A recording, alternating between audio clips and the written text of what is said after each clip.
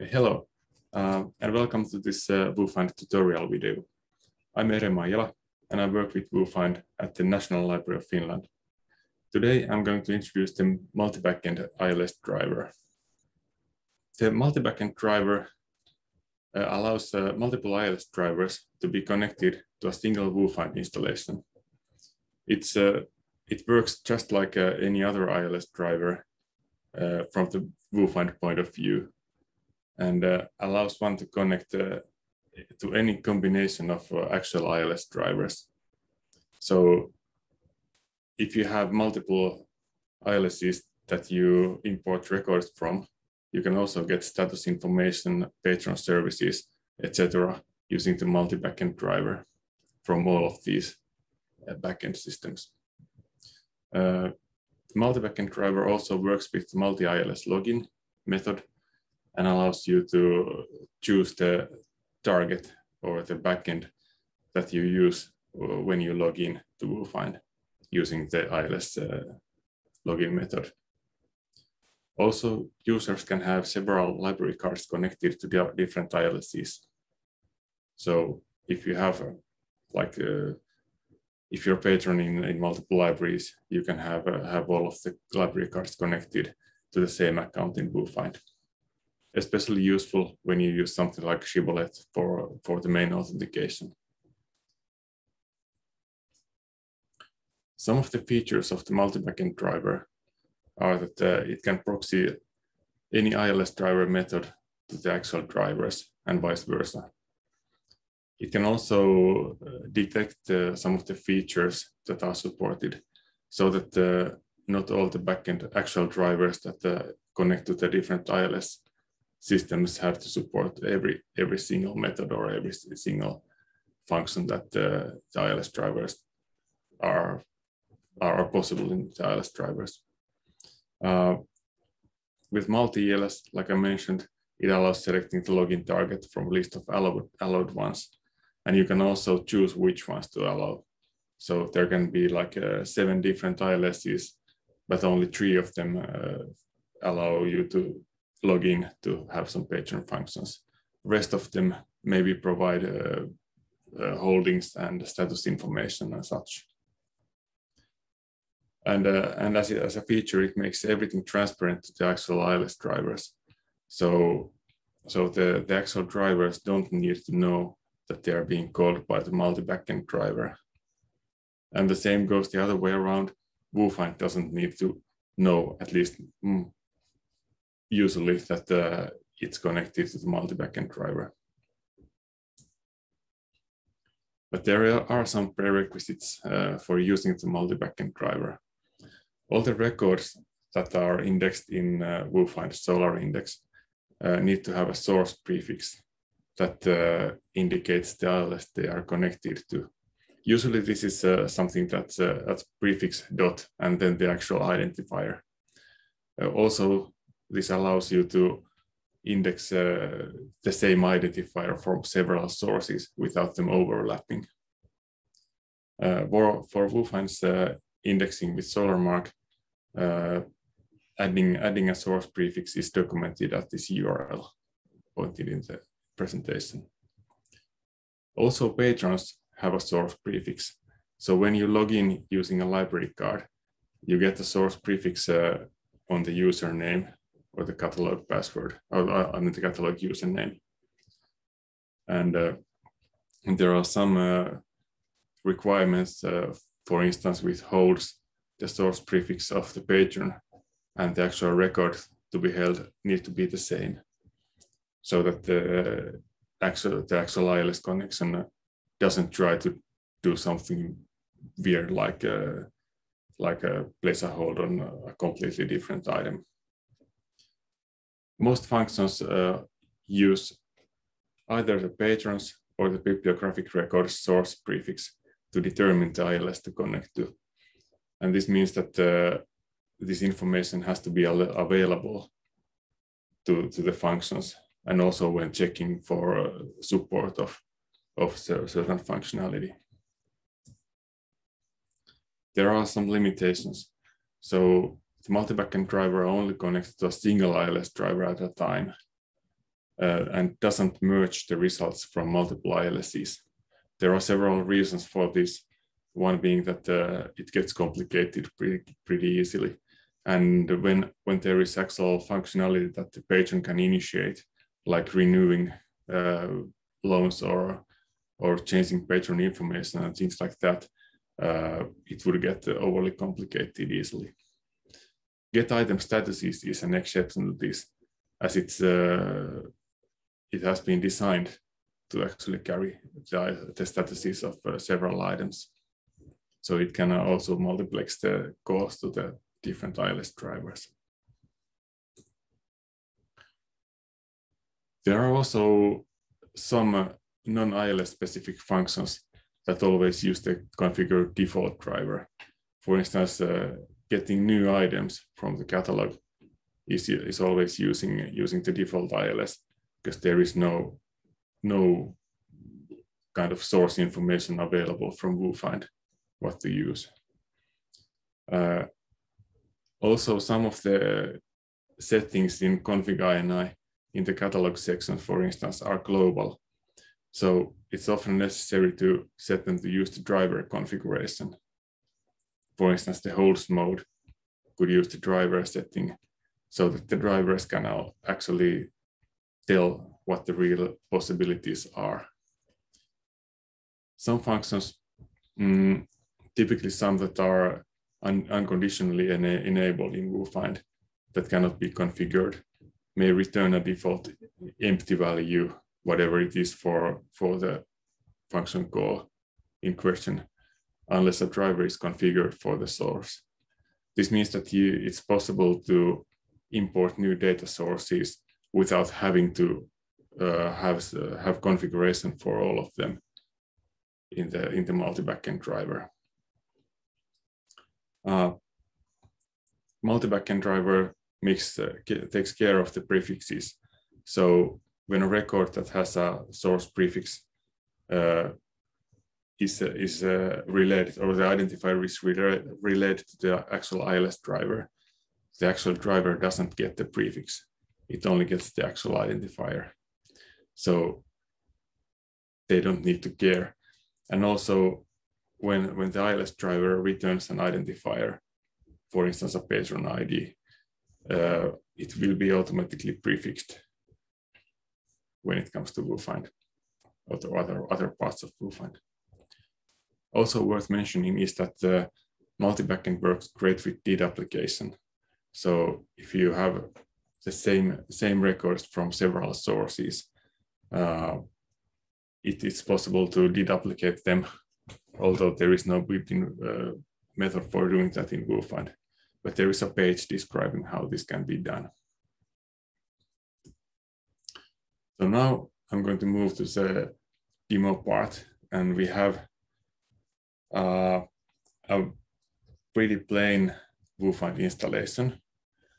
Uh, this has been uh, set up uh, with an empty index with some pretty basic settings. And I'm going to walk through the different settings required for importing the records with the source prefix and also how to set up the multi-backend driver. I will be using the demo driver for both uh, sort of backends that I create for, for things to remain simple but they could be substituted by any other ILS driver. So we will need to start by doing a little bit of configuration, like creating some uh, properties files for the import. And I will, oops, I'm just going to stop the presentation so that I can actually copy and paste information. So uh, I like to make it so that uh, all the configuration locally configured is uh, in the local directory. You could add them into the import directory, but I really like it to keep things separate. So I'm going to take the import uh, import properties, not MARC properties, and copy it to the local import a directory for two different backends. I will call them demo one and demo two.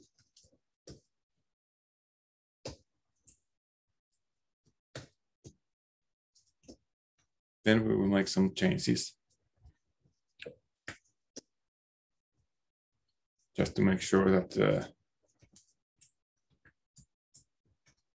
the import takes uh, into account our locally defined rules for the MARC records.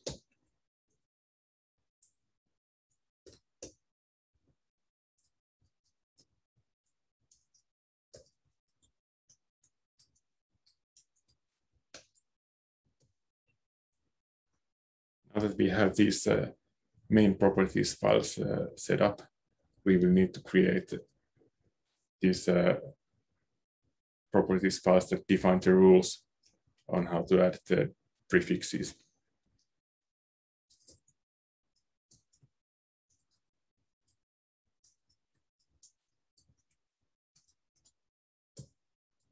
I'll just copy and paste this from the example. I'll do the same for the other one.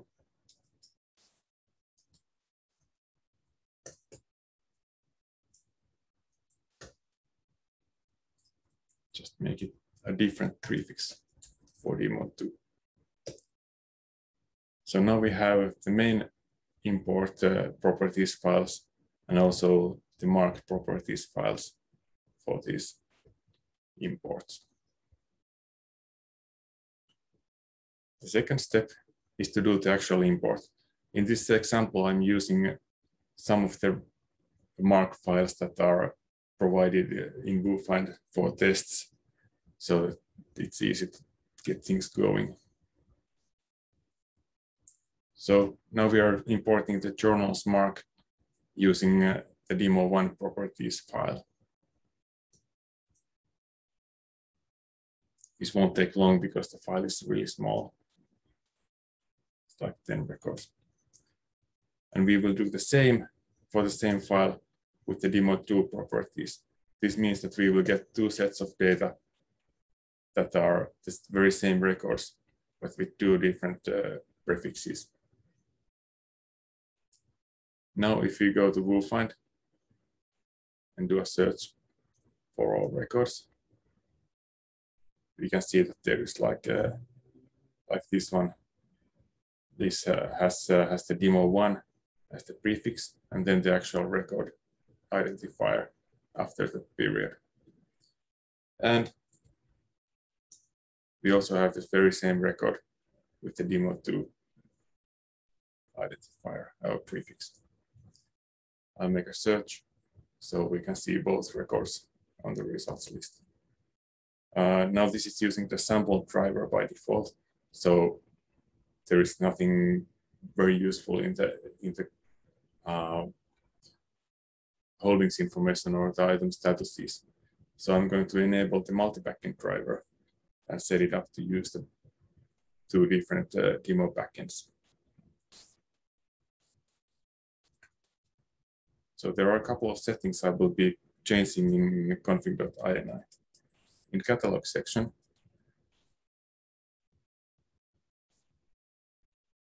there are a couple of settings. Uh, the driver to use is the main one. And uh, now it's using the sample driver, but we're switching to multi-backend. Also, I'm going to enable library cars so that I can uh, add, add a couple of different cars to my account just to show how it works.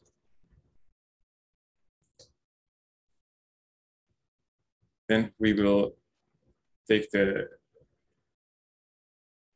so it should be like this, take the default demo.ini, copy it for both of the backends.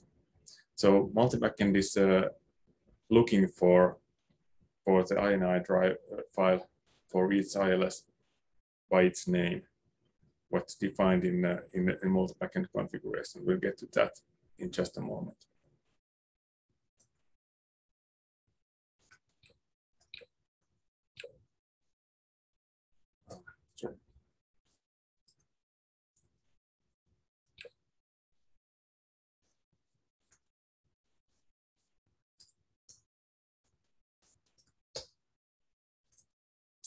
Now I will change the configuration files. I will add identifiers. This is uh, specific to the demo driver because they otherwise get get their sort of uh, session storage mixed up. I will also uh, set up some static holdings information so that we can see that the information is actually coming from a different backend.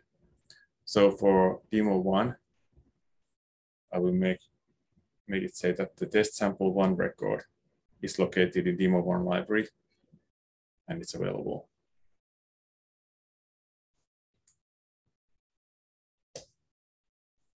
I'll do the same with the demo two. I'll just give it a different identifier so that the two don't get mixed up.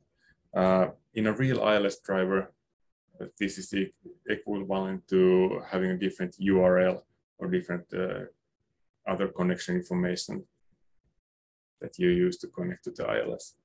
So we'll just uh, pretend that uh, defines the actual ILS that we are using.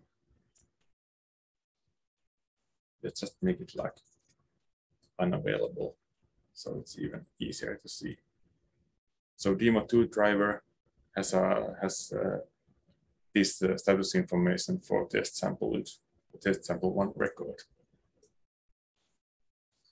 And finally, we need to set up the multi-backend driver to actually look for these drivers.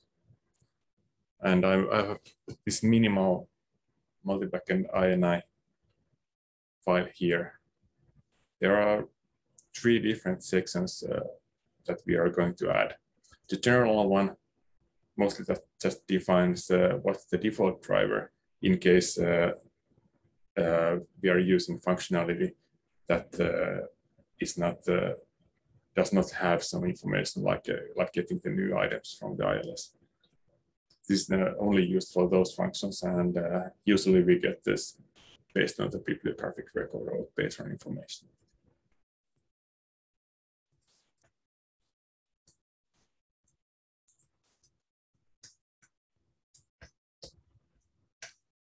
I'll just paste this file here.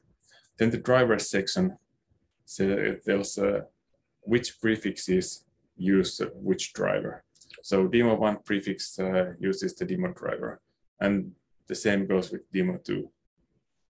The login section defines which drivers can be used for, for patrons to log in or patrons to add the library cards. I'll enable it for both cards, at least for now. So we can see how it works in real life. And now, if I've done everything correctly, we can refresh the search results and uh,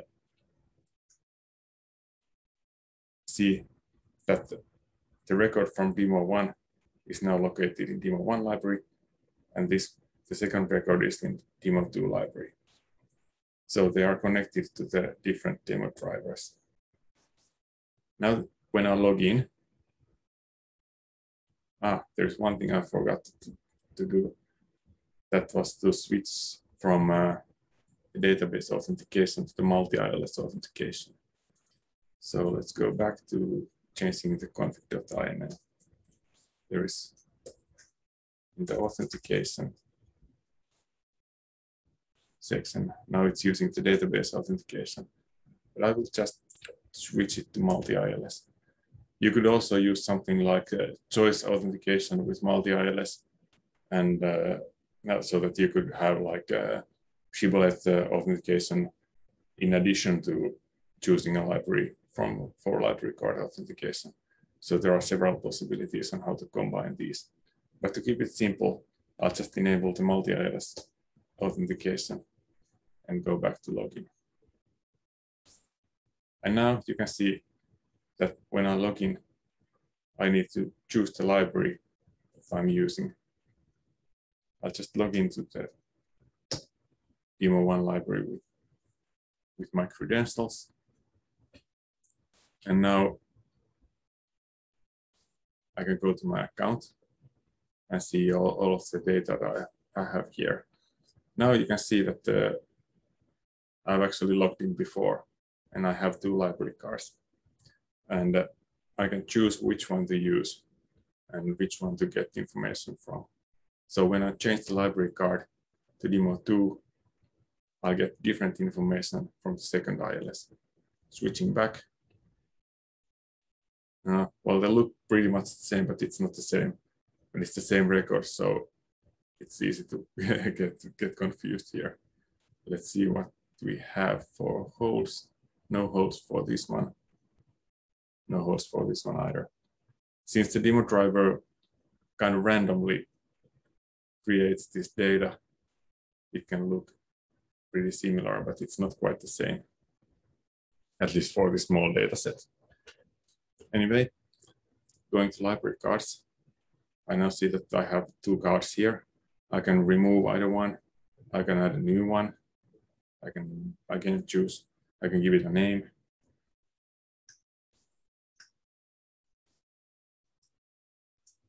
Again, something And now I have three different cars. Now I can go here and choose which one, whichever I want.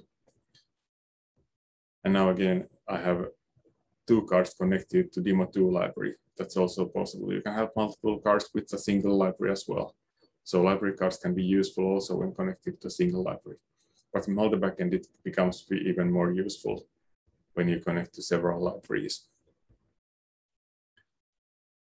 So that's all uh, for, for the simple setup. Of course, uh, when things get more complicated, you will have some ILSs that don't support logging in. Let's say that uh, only demo one allows logging in. If I go back here, I still have these library cards connected to demo 2, but if I I now delete them and then a new one. I can only choose demo one. So it's not possible to, to choose demo two anymore. Same goes when you log out and go to login. It's not offering demo two anymore. There are some upcoming changes to multi-backend to make it more the driver itself more simple and also ready to use some uh, for any any future functionality. Also,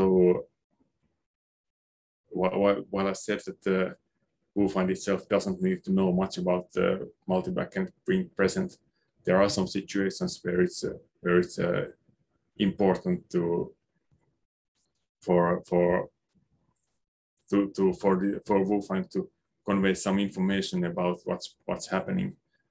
Uh, for instance, when when you log in and uh, and go to go to your account, uh, all the menu items uh, displayed here depend on the on the functionality that the backend provides. So if if there are no storage uh, retrieval requests uh, it, it won't be shown here. So uh, in this regard, uh, uh, the information about which account is enabled needs to be conveyed to multi-backend so that it, it can ask whether it's uh, supported by the, by the correct ILS. Other than that, uh, things should be really smooth, more smooth sailing here. So to remember, set up multi-backend INI set up the, the different INI files for, for, the, for the libraries, for the actual ILSs. And uh, remember that this is the same as the driver, uh, uh, as the INI name. So demo1 has a demo dot, demo1.ini. And also change the settings in config.ini properly so that uh, the multi-backend driver is used. And remember to uh, index the records using, using a source prefix. So that should be it. Hope you enjoy using multi-backend driver. Thanks.